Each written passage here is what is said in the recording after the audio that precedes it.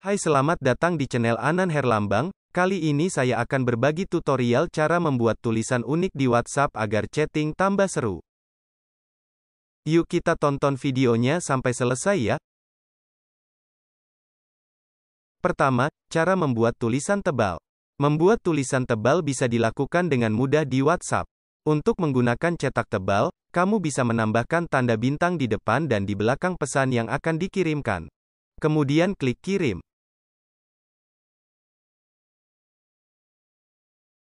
2. Membuat tulisan miring. Selain cetak tebal, kamu juga bisa membuat tulisan miring atau format italik.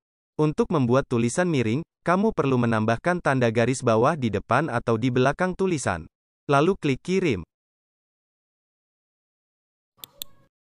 3. Membuat tulisan coret tengah.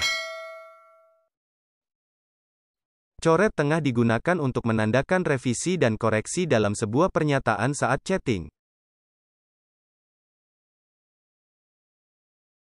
Untuk membuat tulisan unik ini, kamu bisa menggunakan tanda tilde sebelum dan sesudah pesan yang kamu tulis di WhatsApp. Lalu klik kirim. 4. Membuat tulisan font. Untuk menggunakannya, kamu perlu menambahkan tanda apostrof penutup sebanyak tiga kali, baik di awal maupun di akhir pesan.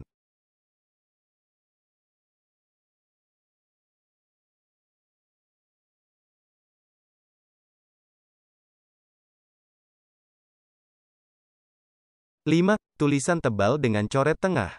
Tambahkan tanda tilde dan bintang di depan dan di belakang pesan.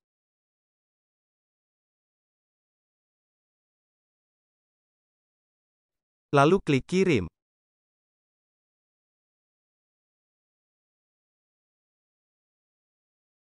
Oke, nanti kamu bisa kreasikan sendiri ya.